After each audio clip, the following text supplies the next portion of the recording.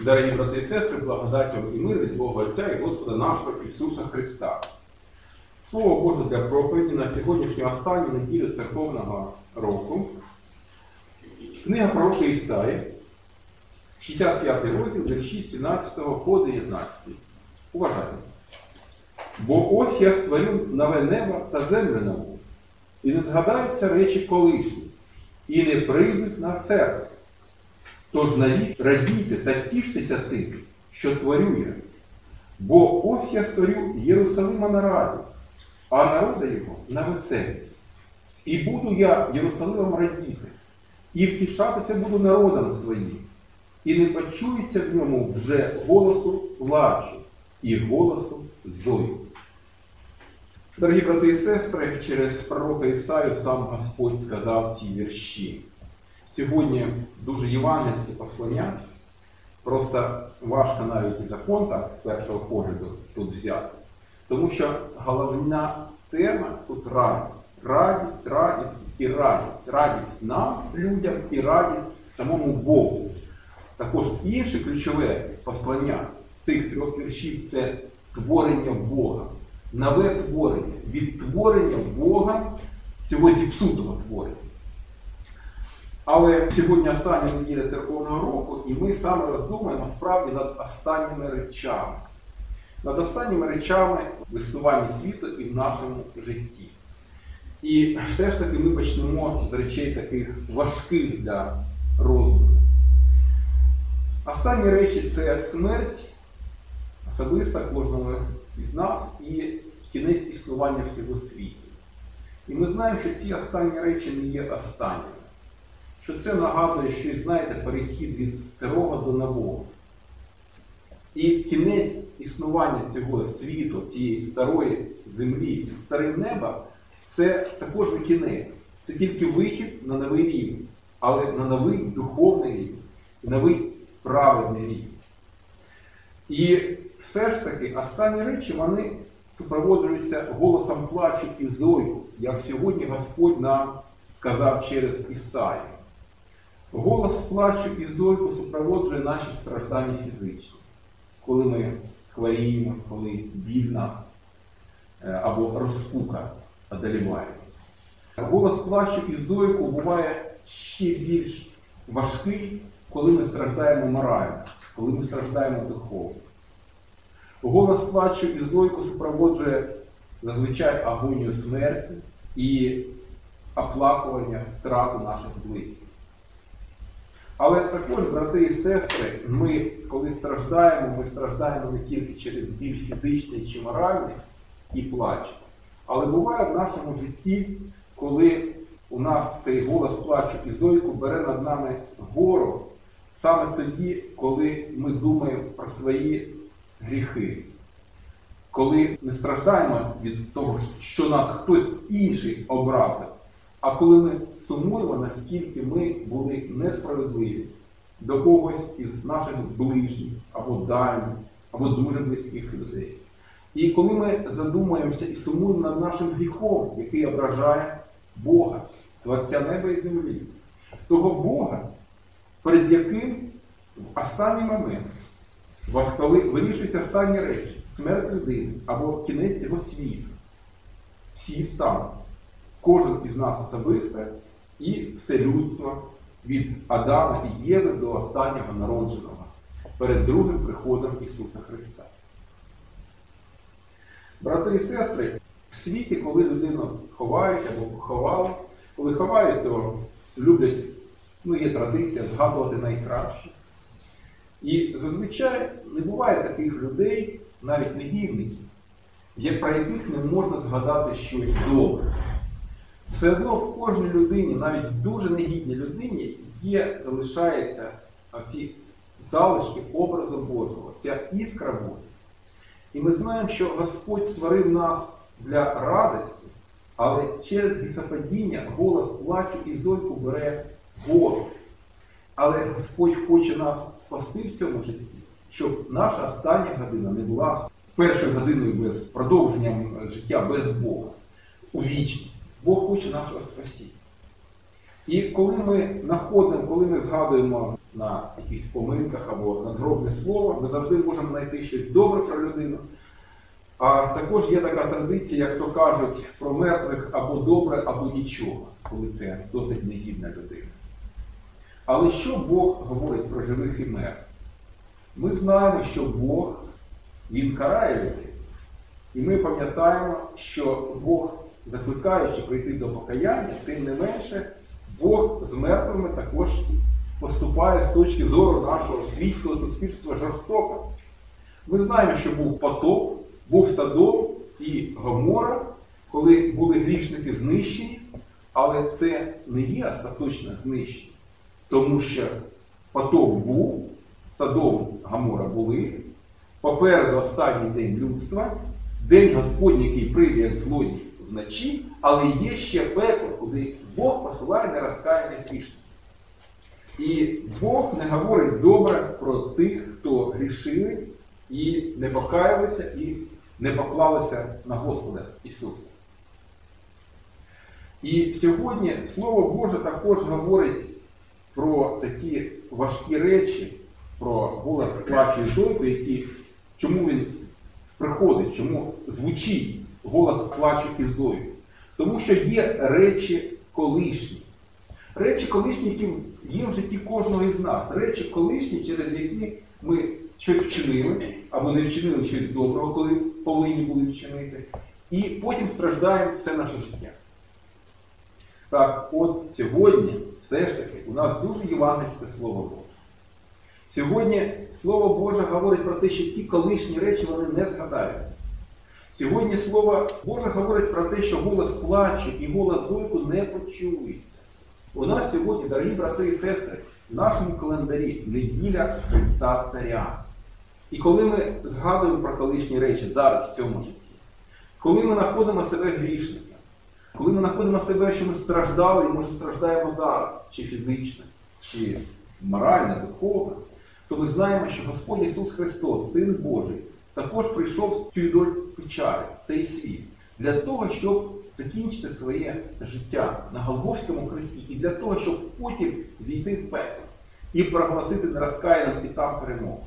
Для того, щоб показати всім вірним, які упокоїлись до його приходу, що ось той день, який очікували, Авраам, Давид і інші прийшов, і прийшов і засвідчив свою перемогу. І ми знаємо, що останнього дня існування цього світу Господь прийде у славі, підніме всіх праведників, всіх, хто покладалися на нього, для воскресіння тіла і для вічного життя із ним.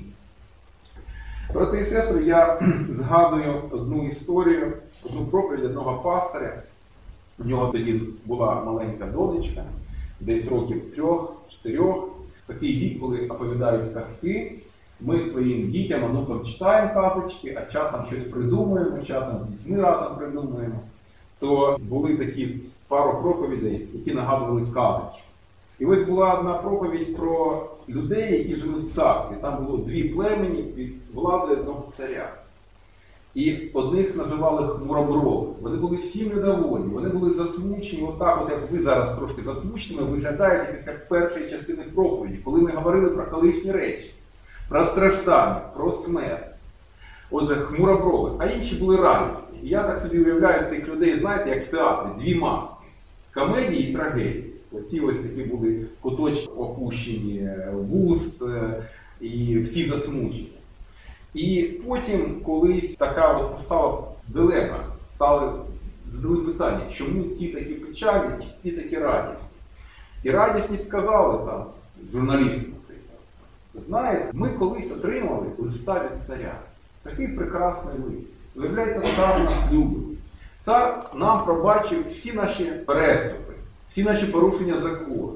І цар повністю опікується нами зараз, а в майбутньому він нам приготував ще краще місце. І потім, коли пішли оці від цих щасливих, радісних людей, посли, тим же журналістам, скажімо так, я трошки переробив цю казочку на ходу, до хмуробровів і спитали, чому вони такі сумні. Кажуть, та от все ж так погано, ми так живемо, все хворіємо, страждаємо, ще цар у нас строгий такий, колись прийдеться перед ним предстати, і він нас явно засудить. Тому що такі закони суворі в нашій державі, що їх неможливо дотримати. І тоді оце ось представник від радісних людей сказав, слухайте, так он же лист є про те, що всі ваші переступи всіх законів, вони вам пробачають. Ви хіба не отримували цього листа? Цар послав всім підданим. А ті кажуть, так, приходив якийсь лист, але ми його не читали. Брати і сестри, дуже багато людей в нашій Україні, в нашому місті не читають люблячого листа Отця Небесного, Слово Боже, де проголошується прощення всіх наших гріхів. Не читали оцих трьох віршів із 65-го розділу Ісаї, де сказано про те, що Бог все відтворює і перетворює собі на радість і нам, людям, на радість. Брати і сестри, сьогодні неділя Христа Царя, Господа, який є царем Царства Небесного. І ми знаємо, що його царство не від світу цього, але його царство вже, його керівництво в цьому царстві вже відбувається. І відбувається, Господь хоче нас перетворити із хмуробровів на радість, втішених людей, веселих людей, поздравно веселих людей, які раді служити своєму Господу, які раді служити тим, хто поруч з ним. Сьогодні Слово Боже використовує такі от географічні топографічні поняття, як Єрусалим. Єрусалим, який був столицею Ізраїля і зараз фактично є, держави, народу Ізраїля, Божого народу. І ми знаємо, що земний Єрусалим був недосконалий Єрусалим, що дуже багато людей грішили, дуже багато царів грішили жахливими гріхами в Єрусалимі. Ми знаємо, що кінець кінцем Бог видав Єрусалим на зруйнування, і храм видав на зруйнування, і на Гедоту спустошення. Але Бог не відвернувся від свого народу. І Бог завжди простягав руки до свого народу. І сьогодні Слово Боже говорить не про земний Єрусалим, не про земний Ізраїль. Не Ізраїль по не Єрусалим, який в юдеї в Ізраїлі, а говорить про небесний Єрусалим. І він говорить Господь, що він збере туди всіх народів, з усіх 12 колін Ізраїля, з усіх народів збере людей, всіх віруючих в Господа. І ми можемо пригадати об'явлення Іоанна Богослова, де змальовується 12 брам Єрусалим. І радісне, прекрасне, сяюче місце, приготовлене для вірних Господа. Отже, що Господь говорить про мир? Ми знаємо, що Господь безбожників посилає у пекло. Але разом із тим ми знаємо, що віруючі у Господа не є мертвими, як говорить новий заповіт нам про це. І старий заповіт також. І Господь нас привертає до вислову із виходу, що Бог є Богом Авраама, Ісаака і Якова, Богом живих, а не мертвих. У Господа всі віруючі, всі живі.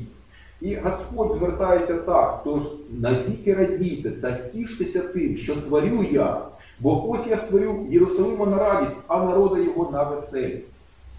Брати і сестри, ключові слова наших трьох віршів творити і радіти.